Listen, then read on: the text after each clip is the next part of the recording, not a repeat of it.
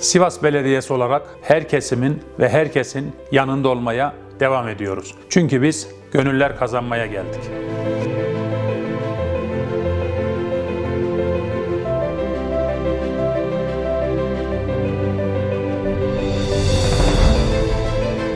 Allah devletimize, milletimize birlik, beraberlik göre güç kuvvet verir.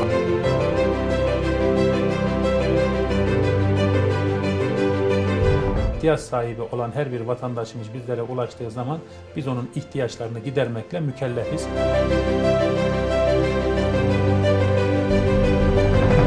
Allah devletimize var vermesin.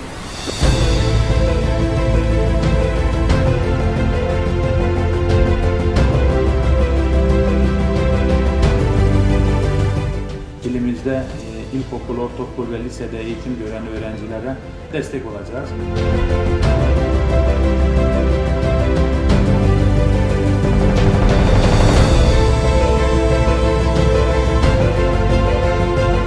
Aile başı 3000 TL olmak üzere yine nakit yakacak desteğinde bulunmaya devam edeceğiz.